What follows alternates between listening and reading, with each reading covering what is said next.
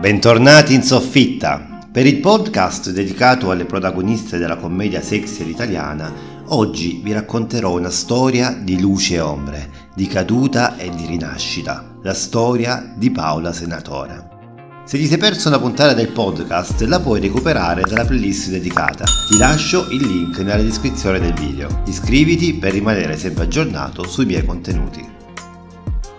Il nome di Paola Senatore a tanti può dire poco, anzi pochissimo, eppure è stata una delle attrici che hanno fissato l'immaginario erotico del cinema nostrano a cavallo tra gli anni 70 e 80.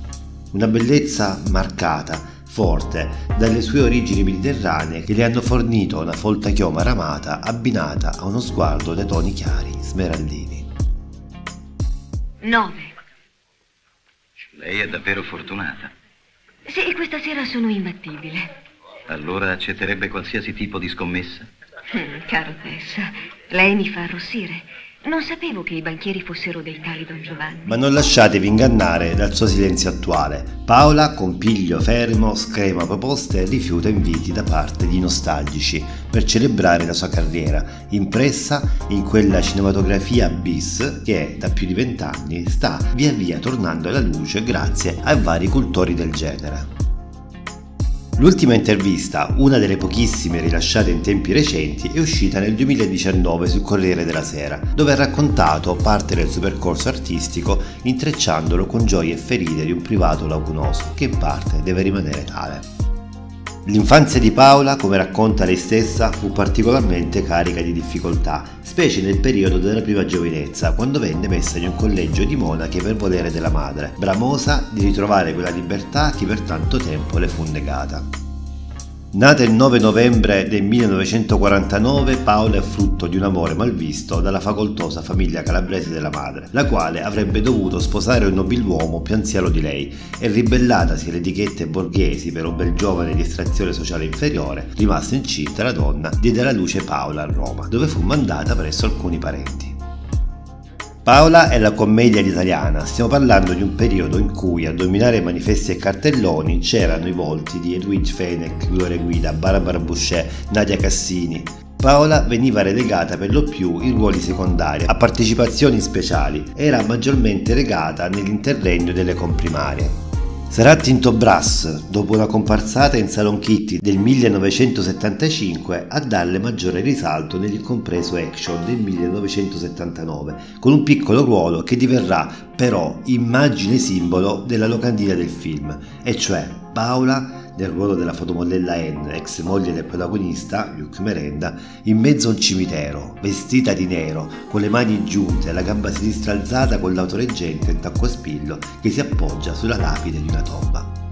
Ma il vero fiore all'occhiello della sua filmografia rimane Nenè del 1977, dove la vediamo nel ruolo della mamma del piccolo protagonista irretito dai vizi di Leonora Fani, altra stellina erotica di quegli anni che per un breve periodo godette di una buona notorietà.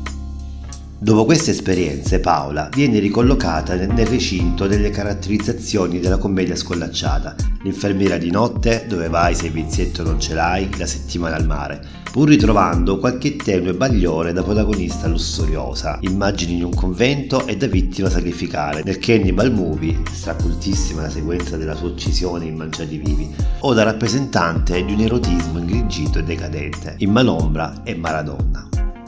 A metà degli anni Ottanta, mentre i suoi servizi fotografici cominciavano sempre più a varcare la soglia dell'hard, storici quelli della rivista Le Ore, alcuni dei quali in coppia anche con Karin Schubert, altra vittima del sistema di cui vi ho già parlato, Paola gira il suo primo e unico film hard, per vendetta, dice. Da diverso tempo aveva cominciato a fare uso di stupefacenti e le voci nell'ambiente cominciarono a moltiplicarsi sul fatto che si fosse data le luci rosse per comprarsi la dose, sorte a quella della compianta degli dichiarati di cui trovate anche il video dedicato qui sul canale.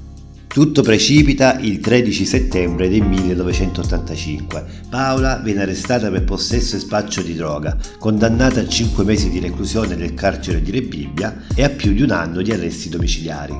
Da questo momento la sua vita slitta nel cambiamento, scopre la gioia della fede mentre si trova in cella di isolamento, come ha raccontato lei stessa a Corriere della Sera.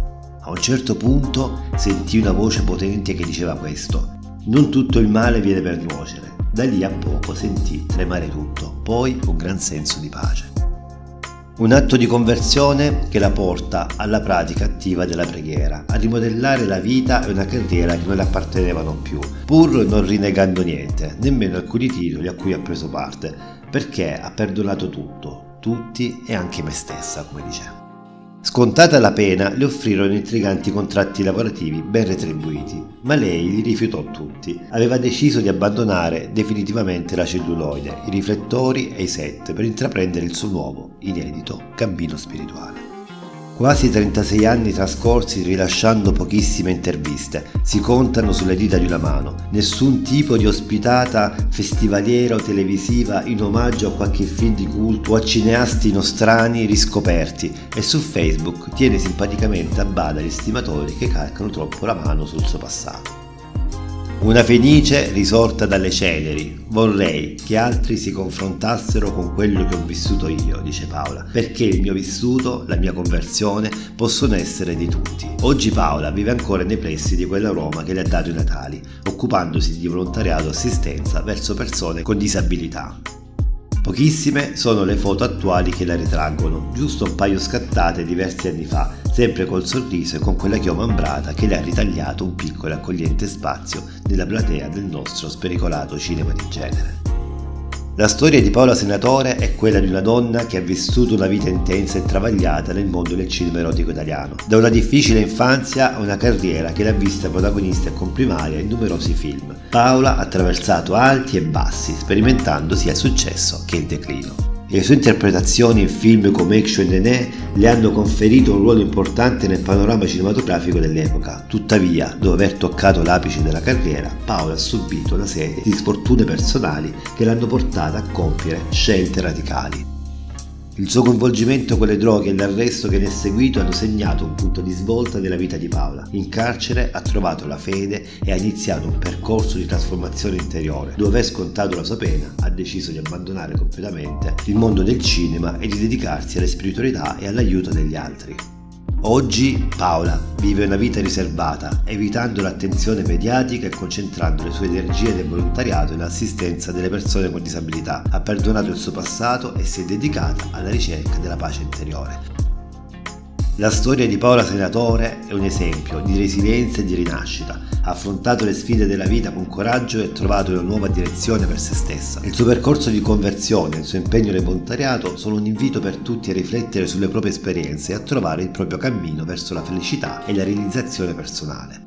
Ma quella di Paolo Senatore non è l'unica storia tragica legata al mondo dell'hard e della droga. Clicca sul video qui accanto per scoprire cosa è successo a quest'altra indimenticabile attrice.